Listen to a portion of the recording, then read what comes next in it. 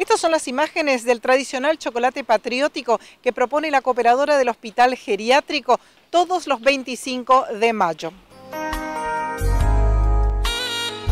En su decimocuarta edición, la Asociación Cooperadora del Hospital Geriátrico de Agudos Juana Francisca Cabral, como lo hace todos los 25 de mayo, celebró un nuevo aniversario de la Revolución de Mayo, compartiendo con amigos y benefactores su tradicional chocolate patriótico. El salón de fiestas del Club Regatas Corrientes fue el escenario propicio para pasar una tarde amena y solidaria en la que se homenajeó a la señora Cuca Soijet de Méndez, socia fundadora, en aquel momento de una comisión provisoria que trabajó en beneficio de los internados.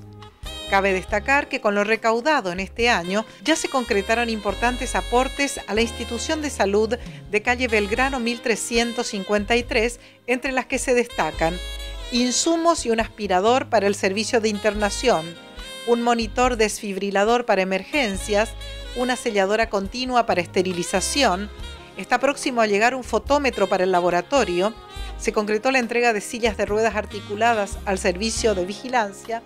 y un aparato de radiofrecuencia bipolar para kinesiología, además de ocho acondicionadores de aire para consultorios externos.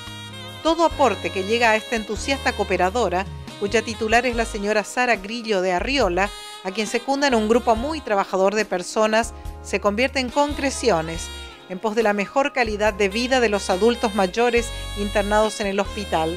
Agradecemos la invitación a las empresas y firmas comerciales que aportaron lo suyo